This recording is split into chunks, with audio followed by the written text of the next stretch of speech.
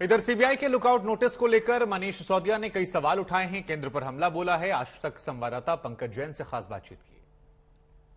आपने press conference भी की पिछले दिनों जब सीबीआई ने रेड की पंद्रह घंटों तक की रेड चली उसके बाद आपको चिंता हुई आपने चिंता व्यक्त की कि मुझे गिरफ़्तार किया जा सकता है तो ऐसा आपको क्यों लगा? इसीलिए क्योंकि अब ये समझ में आ गया है कि बात घोटाले की है ही नहीं। अगर घोटाले की जाँच करनी होती तो गुजरात में दस हज़ार करोड़ का घोटाला हर साल कर रहे हैं और इनके ही लोग कर रहे हैं। अगर आबकारी में घोटाले की जाँच होनी है तो वहाँ करें ना। वहाँ सीबीआई नहीं जाएगी। प्रधानमंत्री जी ने जिस पुल का उद्घाटन किया, जिस सड़क का उद्घाटन किया, दो दिन में धस गई। मैंने सीबीआई को चिट्ठी लिखी हुई है कि दिल्ली नगर निगम ने तिरासी करोड़ रुपए तो मुफ़्त में यूँ लुटा दिए। 1200 करोड़ का टेंडर उन्होंने 800 करोड़ में दे दिया। फैक्ट्स के साथ दिया हुआ है और 800 करोड़ में से भी 400 करोड़ लिए खाली उससे। तो ये इनकी जाँच नहीं होगी, क्योंकि बात यह है कि इनका घोटाला वोटाला में कोई इंटरेस्ट नहीं है। इनका केवल इंटरेस्ट इस बात में अरविंद केजरीवाल को कैसे रोका जाए। आज अरविंद केजरीवाल पूरे देश में ऐसे नेता बन गए जिनको लोग देख रहे हैं कि यार, स्वास्थ्य पे आदमी बात करता है और ये काम कर रहा है। रोज़गार पे इस आदमी के पास सोल्यूशन है। तो आज देश का नौजवान, देश के लोग अरविंद केजरीवाल जी की और उम्मीद से देख रहे हैं 2024 का चुनाव अरविंद केजरीवाल वर्सेस मोदी होने वाला है।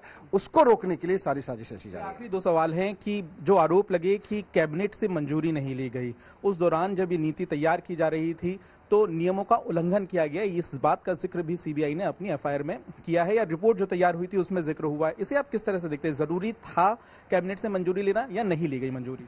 किसी तरह की कोई गड़बड़ी नहीं है। इन्होंने सारी जाँच कर ली है। उसके बाद ही आए हैं। मैं इसलिए बार बार कह रहा हूँ कि अगर इनको इन सब की चिंता होती कि घोटाले हो रहे हैं तो घोटाले इनकी आँखों के सामने रखें। उन पे बात नहीं कर रहे हैं। अगर एक्साइज की ही घोटाले की बात करनी है तो गुजरात के घोटाले की बात करें ना। गुजरात में इन्हीं के लोग दस हज़ार करोड़ की एक्साइज चोरी हर साल कर रहे हैं और यही करवा रहे हैं। उस पर जाँच नहीं करेंगे।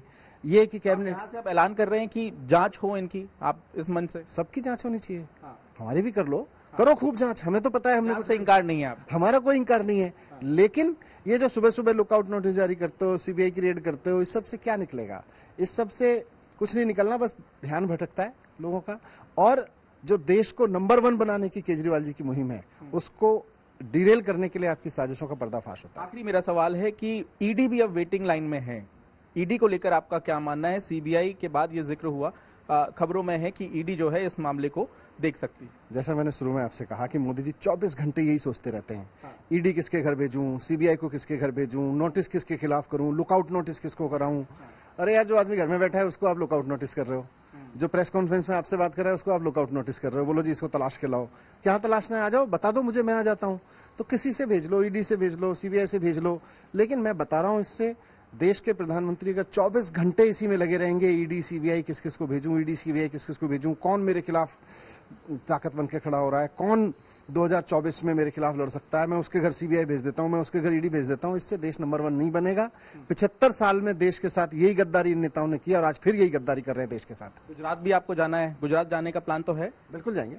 वहाँ जाकर क्या शिक्षा स्वास्थ्य के मुद्दे पर बात बिल्कुल गुजरात का चुनाव इस बार शिक्षा और स्वास्थ्य पे होगा।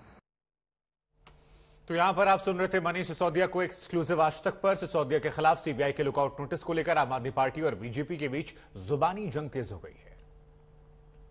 गुस्से में नहीं मुझे तो आश्चर्य हो रहा है कि एक ऐसा शिक्षा मंत्री जो पूरी दुनिया में लोकप्रिय है एक ऐसा केजरीवाल का शिक्षा मॉडल मनीष सिसोदिया का शिक्षा मॉडल जिससे दुनिया सीख रही है देश सीख रहा है उसको आप लुकआउट नोटिस जारी कर रहे हैं। हत्यारों को लुकआउट नोटिस जारी नहीं होती, आतंकवादियों को लुकआउट नोटिस जारी नहीं होती, लाखों करोड़ के लुटेरों को लुकआउट नोटिस जारी नहीं होती।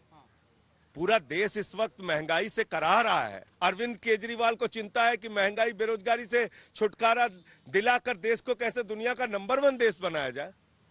इनको लुकआउट नोटिस की चिंता है। आपके घर में जो एजेंसी गई थी, वो आपका अपना मोबाइल लेने गई होगी, आपका कंप्यूटर लेने गई होगी, वो उनको मिल गया है। और बिल्कुल चिंता नहीं करिए। अभी सीबीआई के पास में प्राप्त सबूत हैं, उनके पास में प्राप्त गवाह हैं। जितने लोगों के खिलाफ में एफआईआर हुई है, कई लोगों ने जाकर सीबीआई को पूरा घटनाक्रम बता दिया है किस होटल में डील होती थी, कितना पैसे का ट्रांसफ़र हुआ है। तो जो चोर होता है, वही शोर मचाता है, वही आम आदमी पार्टी कर रही है।